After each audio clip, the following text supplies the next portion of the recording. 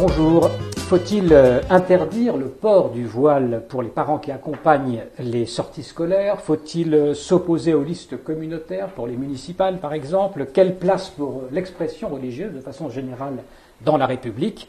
La laïcité doit-elle rester neutre ou bien se montrer active en cantonnant la pratique religieuse dans la sphère strictement privée? Autrement dit, doit-elle être ouverte ou fermée, comme on le dit euh, parfois. Le débat est lancé en France depuis maintenant plusieurs décennies d'ailleurs, et il prend chaque jour un tour plus aigu et différentes formes. Pour tenter de mesurer les enjeux de ce débat, Academ vous propose donc un nouveau numéro de repères juifs autour du thème Que peut dire le judaïsme sur cette question? Et on est en compagnie de trois invités. Florian Chinsky, bonjour. Bonjour. Rabbin euh, de judaïsme en mouvement, euh, vous êtes également docteur en sociologie euh, du droit. Nissim Sultan, bonjour également. rabbin consistorial, vous êtes actuellement en poste à Grenoble. Et Yanis Roder, qui est professeur d'histoire de géographie, responsable des formations mémoriales de la Shoah, qui a écrit un livre il n'y a pas longtemps sur ces questions, enfin qui touche à ces questions à l'école notamment, qui s'appelait Allons enfants, la République nous appelle, chez Ogil Jacob. On peut retrouver d'ailleurs votre interview sur ce point sur Acadème. Et puis je précise aussi évidemment que vous êtes depuis peu maintenant secrétaire général adjoint du Conseil des sages de la laïcité. Donc évidemment vous avez un poste d'observation privilégié sur ces questions. C'est pourquoi je vous donnerai peut-être la parole en premier. Euh, peut-être pour nous donner simplement une définition, pour qu'on sache bien de quoi on parle quand on utilise ce mot de laïcité, qu'on soit d'accord avant de commencer notre débat. Qu'est-ce que vous diriez? Quelle est votre définition? Alors moi je vais vous donner une définition simple, la définition que pourrait donner l'enseignant euh, à ses élèves de manière à ce qu'elle soit bien entendue et comprise, parce que vous n'êtes pas sans savoir que les débats autour de ce qu'est euh, ou de ce que devrait être la laïcité sont très nombreux. Donc je vais aller au plus simple. Et le plus simple, c'est d'abord de dire que euh, la laïcité euh, offre à chacun la liberté du culte. Ça, c'est la première, chose. Je pense que c'est très important de commencer par dire que la, que, la, laïcité, c'est d'abord une liberté. C'est une, une, autre liberté également, c'est la liberté de conscience. La liberté de conscience, c'est d'ailleurs la liberté de croire, mais aussi la liberté de ne pas croire et très important me semble-t-il, la liberté de changer, de pouvoir changer de religion. Dites-nous, pour commencer aussi, pour avoir les éléments du débat, euh, quelle est la situation aujourd'hui en France sur ces atteintes à la laïcité, la difficulté pour la laïcité à régner, j'allais dire, dans l'espace public notamment? Est-ce que vous pouvez nous faire un petit tableau rapidement? Euh, Nous avons aujourd'hui une remontée du, terrain euh, qui témoigne effectivement ponctuellement, et, pas partout, il y a des endroits qui sont un peu plus concernés que d'autres, euh, de problèmes posés par, notamment, je parle de l'école, hein, par quelques, quelques élèves, mais aussi des parents d'élèves sur la question de la laïcité. Alors c'est très limité, hein, il faut par exemple, bah, par exemple des, des, des enfants en école primaire et ça c'est assez nouveau, le ministre l'a dit lui-même, euh, une, montée des cas euh, de, ce qu'on peut considérer comme étant des atteintes à la laïcité dans l'école, dans, le premier degré, hein, de la part de, de parents, ça peut arriver, mais aussi d'enfants. Alors ce qu'on peut avoir par exemple, ce sont des refus d'enfants euh, au nom de euh, ce qu'ils disent être leur religion ou leur croyance, de jouer avec tous les élèves euh, ou de garçons avec les filles, pour être clair. Pas, nécessairement, garçons avec les filles. Hein. Il, y a cette, il, y a, il, y a aussi ces, ces questions-là. Hein. Je ne veux pas être assis à côté d'une fille, je ne veux pas donner la main à une, jeune, à une, fille, mais aussi je ne joue pas avec quelqu'un qui n'est pas de ma religion. Hein. Ça, ce sont des choses qui remontent. Encore une fois, c'est limité, mais vous savez très bien que le problème de, cette réalité, c'est qu'elle est, malgré tout ce que fait le ministère et ce que le ministère met en place pour, faire, euh, pour permettre justement une meilleure connaissance de ces questions, euh, la gestion se fait sur le local et euh, c'est à ceux qui sont confrontés d'appuyer sur le bouton du fait pour le signaler ou pas. Et donc, je ne peux moi vous parler que de ce qui remonte. et ces signalements, malgré tout, augmentent? Ces signalements, augmente oui et non, il n'augmente pas nécessairement. en, revanche, à en revanche, à l'école primaire, nous avons une, une importance. Ce pas très rassurant non plus. Non, ce n'est pas très rassurant non plus parce que cela témoigne justement euh, de ce qu'il peut se passer euh, dans certaines familles et de la vision que certaines familles ont à la fois de leurs croyances, qu'on peut considérer comme étant un petit peu absolutiste, euh, et de ce que de ce que aussi peut dire l'école qui va qui irait à l'encontre de ces croyances. Merci beaucoup pour ces, informations. Euh, une autre question maintenant liminaire que je vais poser à nos autres intervenants. Rabbin Nissim Sultan, Jusqu'à quel point vous diriez que la laïcité est aussi une valeur juive? Alors c'est le terme valeur, moi, qui me fait question, en fait. La laïcité en tant que valeur, je vois bien d'un côté la laïcité de combat qui va prôner donc cette valeur en tant que telle, et je vois par ailleurs ce que vous décriviez, à savoir une modalité juridique, réglementaire de la liberté de croire ou de ne pas croire. Entre ces deux extrémités, ou dans ce clivage, je vois aussi une sorte de principe philosophique, principe philosophique actif. C'est-à-dire qu'il s'agit de décliner un espace commun pour des individus d'horizons différents, et cet espace, cet espace commun s'organise selon la rationalité. On fait des lois à partir du débat rationnel, et c'est ça la maison commune, notamment en République. Donc trouver une maison commune, produire des lois qui n'obéissent pas à un dogme, puisque le dogme ne peut que s'imposer à autrui, attendu qu'il n'est pas démontrable. Seule la rationalité permet de trouver ce qu'il y a en commun chez chacun de nous. Ce type d'expérience, trouver la maison commune, ça fait partie des lots de l'histoire juive.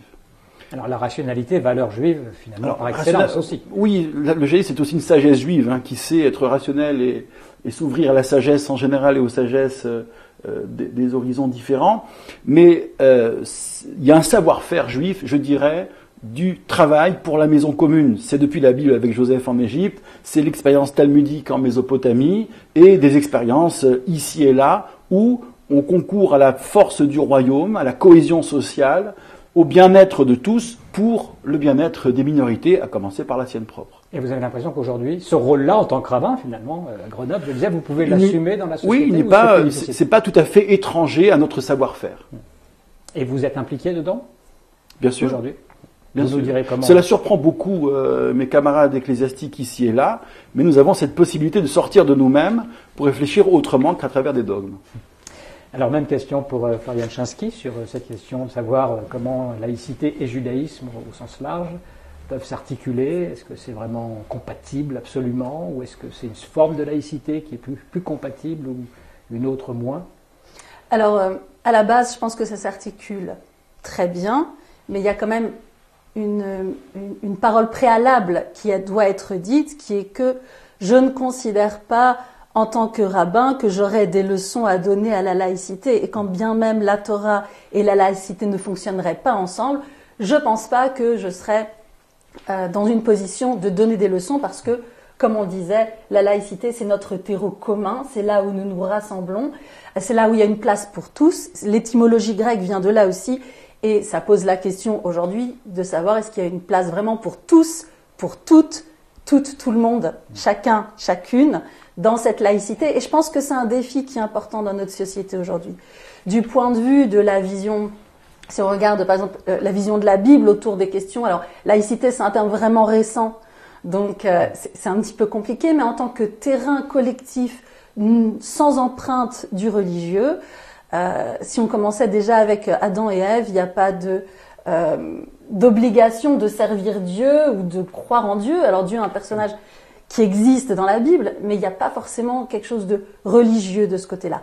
Par la suite, je dirais que la laïcité s'intègre d'une certaine façon dans le droit juif à travers, d'une part, les, cette loi de Noé, dont l'une exige de chaque être humain qu'il qu'il vive et qu'il mette en place un contrat social, une société dans laquelle il y a des lois sur lesquelles on doit s'appuyer. Donc de ce point de vue-là, ça s'intègre dans le droit juif et par la suite encore avec le célèbre principe qui est Dina de Malchuta Dina, la loi du pays c'est la loi, euh, c'est quelque chose d'important également.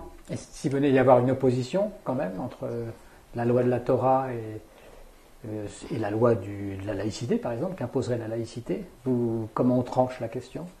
Alors aujourd'hui, de toute façon, il est certain que toutes les lois qui sont de l'ordre du, droit civil ou du droit pénal sont en retrait et ce sont les institutions françaises qui s'en occupent, donc il n'y a pas de question de ce côté-là.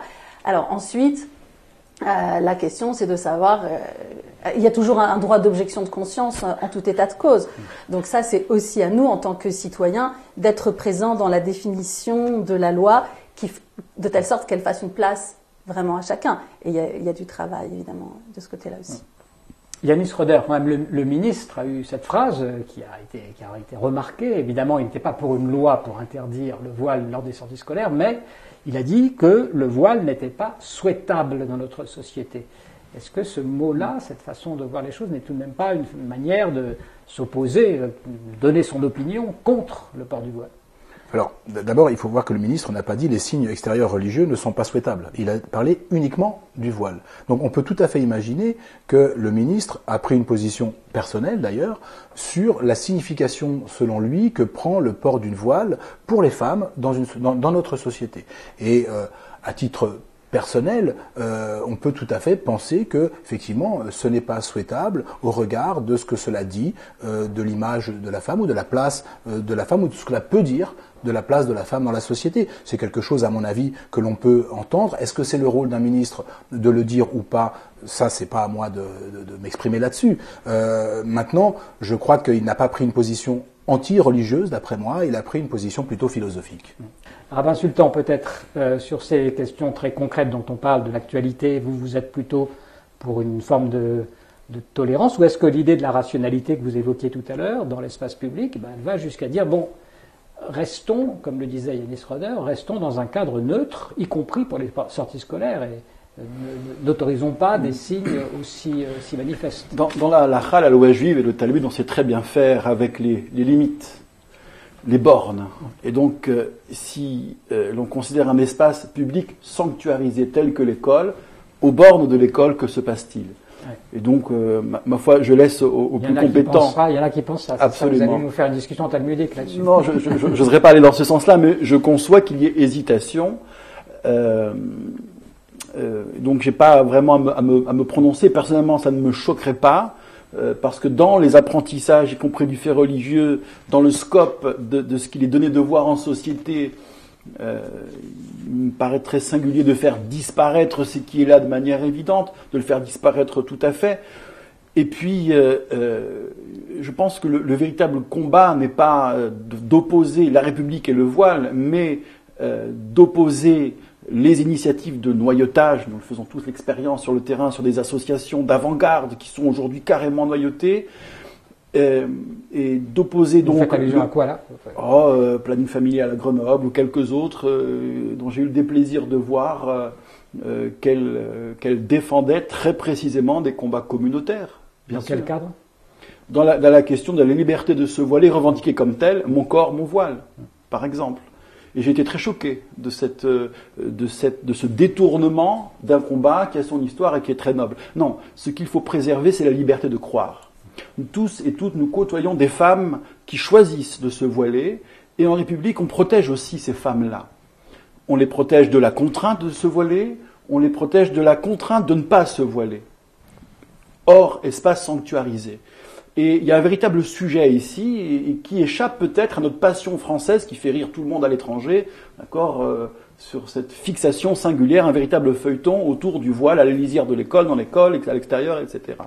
Donc moi je pense que raison gardée implique que l'on s'attache à défendre cette liberté-là, tout en combattant les initiatives qui visent la contrainte, l'enfermement des femmes ou l'enfermement de quiconque et la récupération, le noyautage par l'idéologie religieuse et politique. Alors, si on prend maintenant la, question d'un point de vue communautaire, j'allais dire communautaire juif, est-ce qu'on peut aller jusqu'à dire qu'il existe malgré tout une forme d'alliance objective entre les, juifs et les musulmans sur cette question de la laïcité On pense euh, bah, au port de signes distinctifs, comme, euh, comme la kippa par exemple, euh, ou bien même l'abattage rituel, la circoncision, enfin il y a des tas de, domaines communs. J'allais dire, le président du, consistoire central, Joël Mergui, disait récemment, nos jeunes qui ne demandent qu'à construire leur avenir sans céder sur leur foi, ne doivent pas devenir des victimes collatérales d'une laïcité de combat contre l'islamisme radical.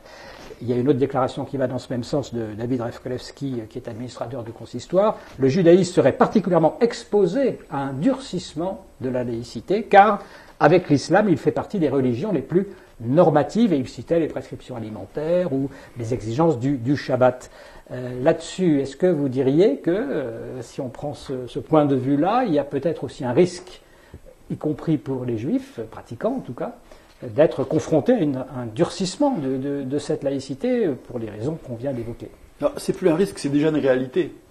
les difficultés de médiation dans, en milieu universitaire sur le Shabbat, les fêtes pour le passage d'examen, les difficultés que nous rencontrons davantage à l'échelle de l'Europe sur la circoncision, sur la, sur la circoncision, sur l'abattage rituel, bref, des questions qui sont encore relativement extérieures à l'hexagone, mais qui pourraient être importées très facilement, euh, deviennent compliquées, il est vrai, alors que très naturellement, l'exception culturelle fonctionnait sur ces registres-là, par exemple. Peut-être un exemple, vous, concrètement, vous êtes souvent confronté à ces questions d'examen, jour de Shabbat, etc. Bien entendu. Et c'est plus difficile que ça ne l'était, j'imagine, évidemment. C'est plus complexe. On ne s'oppose pas à un mur. Vous avez des agents euh, d'extrêmement bonne volonté euh, qui sont très, comment dire, comprennent très exactement l'enjeu et à quel point nous ne sommes pas dans une désorganisation du système ou dans la déconstruction. Mais par ailleurs, on peut aussi entendre ces peurs, cette crispation, euh, parce qu'on se sent débordé, l'imaginaire travaille à plein euh, par euh, une, vague hégémonique religieuse. Et donc cela inquiète, nous en faisons déjà les frais et depuis un moment. C'est pas devant nous, c'est déjà derrière nous. Donc je pense que nous avons à contribuer à apaiser le débat pour revenir avec, euh, je dirais, les armes de la rationalité, avec le droit, revenir dans euh, les, les, grandes questions qui permettent la sauvegarde des libertés religieuses en Europe et en France. Dans l'hystérie, rien ne sera possible. Florence Chasky Oui, et, et ça m'interpelle parce que ça me semble vraiment très important, effectivement, d'être dans une perspective d'une laïcité large, forte, qui n'a pas peur du débat d'idées. Et quand on commence à parler de vote, communautaire, ça prouve qu'au niveau du débat national et que du débat politique, on ne se pose pas des questions qui sont transversales. Quelle politique de l'éducation? Quelle politique économique? Qu'est-ce qu'on veut? Et donc, c'est comme si euh, c'était un débat de personnes plutôt qu'un débat d'idées, comme s'il y avait des alliances qui euh, euh, reposaient sur des critères spécifiques. Et à un moment donné, c'est vraiment un défi de ramener ça à des vraies questions. Comment élargir la respiration de la laïcité et, euh, et comme on disait, il y a le, moi, j'aime beaucoup, alors j'ai été euh, assez marquée sans doute euh, par le, le, débat lancé par l'Académie de Metz deux ans avant la Révolution française, de dire comment rendre les Juifs plus heureux et plus utiles en France. Je pense que c'est une question qui est fédératrice pour tous les citoyens. Comment est-ce que nous avons tous notre utilité? Comment la mettre en jeu? Comment est-ce que nous pouvons tous être plus heureux? Et qu'est-ce qui nous permet de, euh, de, partager ça? Je pense que c'est très important de se poser ces questions-là. Et l'école, il y a de la philosophie à l'école, c'est possible. C'était quand même du temps ancien de la République, enfin, ou de la pré-République, où on allait, on allait dire les individus, allez, mais communautairement et globalement, il n'y avait pas vraiment de, de liberté pour la collectivité. À quoi servent les citoyens? Oui comment chaque personne, quelles que soient les sous-catégories à laquelle elle appartient, euh, peut prendre sa place en tant que citoyen. Et effectivement, si on est dans un débat étriqué vis-à-vis des uns, il se répercutera vis-à-vis des autres. C'est le célèbre euh, poème attribué au pasteur Niemöller qui dit ils sont venus chercher les communistes, j'ai rien fait parce que j'étais pas communiste, ils sont venus chercher les socialistes, j'ai rien fait parce que j'étais pas socialiste, ils sont venus chercher, etc. Ils sont venus chercher les juifs, j'ai rien fait, j'étais pas juif. Quand ils sont venus me chercher, il n'y avait plus personne. Tous les intérêts ici se rejoignent dans toujours cette question de consentement et d'éducation à écouter l'autre. Le port de la kippa est le signe que les juifs se sentent en sécurité dans la société française. C'est ce que disait encore un responsable communautaire. Demander aux pratiquants de l'enlever relèverait d'une atteinte à la liberté religieuse. Un rabbin sultan, est-ce que vous êtes. Ah ben c'est la loi, la loi, toute la loi, rien que la loi. Bien entendu, euh, l'enlever dans l'espace public qui n'est pas sanctuarisé, et je l'enlève volontiers dans l'espace sanctuarisé, au tribunal, à l'école, à l'école laïque républicaine, évidemment. En revanche, dans l'espace qui n'est pas sanctuarisé, la loi autorise le port des signes religieux, fut-il ostentatoire.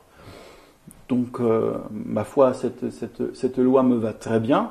Et il est vrai que, alors autant pour kippa, on pourrait trouver des accommodements, c'est pas tant le problème, c'est plus une question de principe, mais pour des pratiques euh, plus englobante, je pense encore une fois au voile, demander à une femme musulmane pieuse de ne plus sortir de chez elle de facto, sinon en retirant son voile, euh, j'y vois comme une, oui, véritable atteinte à la liberté religieuse qu'il faut protéger encore une fois. Choisir de porter le voile, ceci doit être protégé de la même manière euh, qu'il s'agirait de lutter donc contre la contrainte de porter le voile ou la contrainte de l'enlever. Il ne s'agirait pas, comme vous disiez, de remplacer, de répondre à un paternalisme idéologique et religieux par un paternalisme d'État. L'État n'est pas là pour décider pour les gens comment croire. Et ce n'est pas une preuve de faiblesse par rapport à quelque chose qui se définirait comme conquérant. À mon sens, c'est de légiférer qui démontrerait une très grande insécurité intérieure. Mais ça, c'est un autre débat. Yanis Roder, on a parlé donc du voile beaucoup. Vous aviez dit tout à l'heure sur l'enseignement maintenant, parce que là c'est sur le fond, euh, pour voir encore un dernier aspect, euh, sur le contenu des programmes. Euh, là, il y a quand même beaucoup de points de friction, que ce soit en sciences naturelles, bon, sans parler de la gymnastique pour d'autres raisons, sur les idées générales, philosophie, sais, je ne sais pas, il y a sans doute là beaucoup. Et puis sans parler de l'enseignement de la Shoah, là vous, vous êtes très bien placé pour nous dire sur ces questions de fond. Euh, est-ce que là, on est à nouveau devant des difficultés aussi importantes ou qui s'accroissent ou qui se règlent Écoutez, euh, c'est très difficile d'avoir une vision d'ensemble. Là encore, le ministère reçoit des remontées de terrain sur ce qu'on appelle les contestations d'enseignement, euh, qui ne sont pas nombreuses au regard des chiffres du ministère. Je n'ai pas les chiffres en tête, vous m'en excuserez, mais ce n'est pas très nombreux. En revanche, on sait très bien, et moi le premier, que quand euh, un élève va contester, euh, va contester euh, ou, ou, questionner en classe, qui peut être pris pour une contestation alors que ça n'en est pas nécessairement une, on va pas aller appuyer sur le bouton. Du, voilà, et signaler la chose. On va, voilà, c'est quand même notre métier quand on est enseignant de discuter et d'amener des arguments de manière à faire réfléchir non seulement l'élève qui qui a tenu les propos, mais euh, la classe qui, est autour de lui. Donc euh, c'est une réalité euh, difficilement mesurable, mais je, la trouvais moi beaucoup plus, beaucoup plus directe, cette réalité, beaucoup plus dure, au début des années 2000 en fait. À l'époque des territoires perdus, on a Exactement, à l'époque où nous avons écrit les territoires perdus de la République, tout à fait. Et aujourd'hui, je pense que d'abord les enseignants sont mieux formés à, à, répondre à ces à ces contestations ou à ces, ou à ces questions. Y compris sur la Shoah, là, vous Y compris sur la Shoah, bah, le mémorial quand même forme 5000 euh, enseignants par an, euh, et notamment sur ces questions-là. Euh, j'étais à Strasbourg la semaine dernière pour apporter mon expertise devant 60 principaux et, proviseurs de, de, collèges et de lycées. Justement, c'est comment répondre et quelle posture adopter face à un élève qui tient des propos antisémites. Donc il y a des formations qui existent, il y a des progrès sensibles qui sont faits. Euh, ça n'empêche pas que cela existe toujours, que ça continue d'exister. C'est difficile de savoir si ça augmente en réalité, mais l'axe principal de, ce questionnement-là, c'est la formation des enseignants, aussi bien dans la posture que dans le discours qu'ils doivent tenir aux élèves. Vous faites fort, vous, de résister ou de répondre comme il faut. C'est pas de la résistance parce que je fais pas la guerre. À la plupart mais, des... mais, mais, mais, oui, je, bien sûr, c'est une, une évidence, si vous voulez. Je vais vous prendre un exemple très simple. Euh, la semaine dernière, je, fais un petit cours de, démographie et j'explique que plus les femmes accèdent euh, dans les pays, euh, dans les pays, n'importe quel pays, plus les femmes accèdent à l'enseignement secondaire et supérieur et moins elles font d'enfants. C'est Emmanuel Todd qui le montre, il est très bien. Et parce que, j'ajoute, parce que ce sont les femmes qui choisissent de faire les enfants. Et une élève me dit non, c'est Dieu. Voilà. Alors je lui dis écoute, tu as le droit de le croire. On va demander à M. Rabbin. Tu, as le droit de croire ce que tu veux. Moi, je ne suis pas là pour te dire ce que tu peux croire ou pas croire. Mais rien ne démontre scientifiquement ce que tu dis. Moi, je ne parle que de choses qui sont démontrées scientifiquement. Donc, ça, c'est ta croyance. Moi, je te parle de fait. C'est la différence entre un fait et une croyance. Voilà, on est, euh, voilà, bon, voilà, c'est un exemple. Ce n'est pas une, je ne considère pas que ce, ce soit une contestation. C'est simplement l'affirmation d'une croyance euh, dont le propos, enfin, si vous voulez, dont, dont l'idée euh, est heurtée par ce que je venais moi de dire. Et c'est tout à fait légitime, de mon, à mon sens, que cet élève puisse l'exprimer ainsi. Alors, fait croyance, euh, Sultan, là-dessus. oui, il est intéressant. votre témoignage est intéressant parce qu'il il ajoute à mon, sentiment que le fait religieux, relativement occulté pour le coup, et du visuel, on parlait des mamans euh, ou des accompagnateurs, pas, exclusivement des mamans, relativement évacué du visuel de l'écolier lambda, de sorte qu'il manquera l'apprentissage de la critique, de l'élaboration dans l'élève de l'outil critique. Pour le dire autrement, il semble manquer d'un enseignement scientifique du fait religieux qui permettent de comprendre qu'il y a dans la vie, c'est vrai, deux formes de vérité. qui peuvent s'opposer, mais qui ont des, euh, modalités d'élaboration très différentes. La vérité démontrée et la vérité, là où on a posé un acte de foi, là on a choisi de tenir pour vrai ce qui n'est pour autant pas démontré. Elles cohabitent, quoi qu'on en dise. Nous tenons pour vrai plein de choses sans les avoir démontrées. Ça fait partie de la personne humaine. Et euh, il s'agirait de, bien séparer les deux règnes, en fait, et pourquoi pas le, faire davantage à l'école. Il manque donc de permettre à l'élève de développer cet outil critique sur sa propre pratique, pas pour la déconstruire ou pour l'affaiblir, mais précisément pour la situer. Et je trouve ça intéressant parce que c'est là où la philosophie rejoint euh, certaines formes très importantes de la pensée juive, en particulier les formes talmudiques, euh, cet art de la marloquette, de nous ne sommes pas d'accord et c'est une chance, mais voyons donc quels sont les arguments, quels sont les faits, qu'est-ce qui est prouvé, quelles sont les sources, avec ce très très beau passage euh, des qui dit que une marloquette, un désaccord qui est au nom du service commun, est destinée à se perpétuer parce qu'elle doit continuer tout en opérant un approfondissement permanent des sources. Avec, euh, alors c'est vrai que on le dit en langage euh, religieux, mais ça se traduit très bien en langage scientifique. Et je trouve que cette image est vraiment forte. Il faut enseigner le Talmud, peut-être il faut enseigner le Talmud à l'école. Hein bah, c'est vrai que ça se fait encore Mais je pense que la philosophie permet de le faire sans que.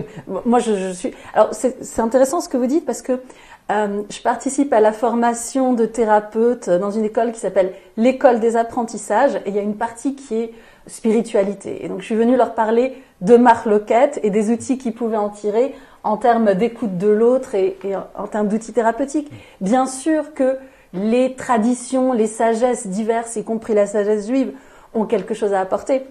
Mais donc de façon poétique, ce qu'on dit, c'est euh, euh, celui qui cite ses sources, c'est comme s'il sauvait le monde. Et donc ici, ça rejoint vraiment quand tu es capable de dire ce que tu dis, d'où ça vient, en quoi c'est rationnel, quel article tu cites, ou qu'est-ce que ça choque chez toi, qu'est-ce que ça blesse chez toi, et de quoi tu as besoin, soit en version scientifique, recherche des sources, soit en version communication non violente, quel est le besoin que j'essaye de satisfaire en exprimant quelque chose. Et est-ce qu'il n'y a pas une façon plus rationnelle ou plus valable sur le plan collectif de satisfaire ce même besoin si on a tous, on a tous, nous avons tous besoin de respect? Et donc, c'est tout à fait possible que ce besoin de respect n'empiète pas sur celui de l'autre, mais pour ça, il faut se mettre un petit peu au-dessus du débat et que la laïcité ouvre ses ailes et en est la force. Voilà. Bon, ça fait un peu débat idéal quand même. J'ai envie de, pour conclure, qu'on revienne à une question large. Clivante, vous, une question oui, Oui, parce que si vous voulez, il y a beaucoup de gens qui nous écoutent, peut-être qui disent, bon, tout ça, c'est très bien, tout le monde, on, est d'accord, mais on n'est pas dans cette situation-là. Est-ce que la communauté juive ne se trouve pas aujourd'hui euh, dans une situation euh, plus compliquée, plus difficile, plus isolée, plus marginalisée euh, vis-à-vis de la République qu'elle ne l'était avant. En gros, est-ce que le, franco-judaïsme n'a pas un peu de, plomb dans l'aile On a connu bien plus compliqué dans l'histoire. Hein. C'est pas ce petit moment de flottement d'incertitude où il est vrai que la, quintessence républicaine a besoin de retrouver un peu de substance, un peu de musculature. C'est pas ce défi qui va nous effrayer. Je pense que qu'amener de la franchise, évacuer les peurs, de traiter euh, les problèmes de manière très apaisée par l'exemplarité, par la réflexion, par la contradiction, ça fait partie de l'héritage juif. Alors s'il faut à nouveau témoigner de cet héritage, eh bien, euh, euh, nous sommes prêts. Yanis Roder, est-ce que le fait d'être juif dans les instances euh, où vous êtes, hein, notamment pour ce conseil pour la, de la laïcité, ça, joue un rôle ou ça disparaît Maintenant, vous gardez votre totalité comme quand vous êtes professeur? Pour ceux qui, le, pour, ceux qui le sont, je ne pense pas que ça, ça, joue en quoi que ce soit, puisque personne ne fait jamais. On vous a jamais traité, évidemment. Bon. Non, non, non, mais personne ne fait étalage de son appartenance euh, religieuse ou communautaire s'il en a une. Donc euh, l'intérêt, l'intérêt, c'est celui de la République. L'intérêt, c'est l'intérêt général. Euh, et c'est dans ce sens-là que chacun, chaque individu travaille, quelle que soit son appartenance, s'il en a, s'il en a une. Et vous, Florian Chansky, si, si, venait, si, le si un gouvernement plus à droite, on va dire, venait à s'installer en France, est-ce que vous avez l'impression que la communauté juive aurait quelque chose à redouter? c'est une question. C'est-à-dire que ce que je veux dire simplement, c'est que on sent bien qu'il y a tout de même un mouvement euh, euh, de, raidissement global, nationaliste dans tous les pays. C'est. Est-ce que tout ça n'est pas quand même une menace à terme pour notamment la communauté juive? Je pense qu'on a beaucoup de choses à redouter. Et que, euh, comme le disait si bien Marie Curie, on ne changera pas les choses sans changer les gens, sans nous changer nous-mêmes. Et c'est pour ça que ça a des, applications extrêmement concrètes, ces grandes idées au quotidien, dans nos communautés, comment mieux travailler ensemble, au quotidien en termes de dialogue interreligieux, comment créer des liens, comment le mettre en place, comment mettre en place ces liens à la fois à un niveau du débat d'idées, comme on le fait souvent, mais aussi à un niveau très concret euh, entre citoyens. Et euh, je pense que les défis sont énormes et ils se résolvent, pour moi, fondamentalement, par l'éducation et de l'action très concrète. Et après, espérons que les ressources seront suffisantes et que les épreuves nous mobiliseront pour augmenter les ressources et que nous ne nous laissions pas, ni les uns ni les autres, enfermés. C'est la responsabilité de chacun. Un dernier mot? Oui, sur la question de l'extrême droite, si vous permettez, euh, comme toujours par devant, l'extrême droite propose de mauvaises solutions à des vrais problèmes. Ce sera l'échec de la République, ce sera notre échec collectif si l'extrême droite arrivait aux affaires. Je pense qu'en tant que juifs, nous devons être des fanatiques du cordon sanitaire, car si nous, nous, nous, ne le sommes pas, la digue sautera. Si les juifs ne sont pas au rendez-vous de l'histoire, et c'est le message qui est un message plus moral que politique, bien entendu, que j'entends passer depuis toujours et pour toujours. Merci beaucoup, merci euh, madame, merci messieurs d'avoir accepté de participer à cette, euh, ce nouveau numéro de Repères Juifs. On se retrouve le mois prochain pour un autre thème d'actualité. Merci donc pour votre attention.